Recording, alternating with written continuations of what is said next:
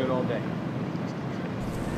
Phenomenal. Yeah, if you're leading in total driving, second in greens in regulation, and a lot of those greens in regulation are for eagle, you don't have to be a great putter, but he has putted solidly. This one, maybe gently uphill at first, turning right a little bit the whole way. Then it can get a little speedy past the hole. And pars are not going to hurt him from here forward. Middle of the greens and pars will not. This has a pretty good line. Forget about pars. Just, just keep making birdies. Did he really think he'd made that all the way? He, He started indeed. walking. It it only gone about five feet, and he was walking.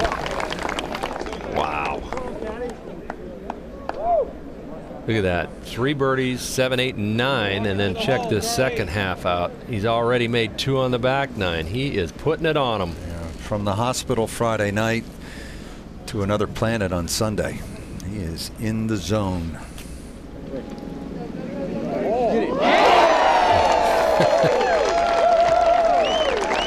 Now the lead is five.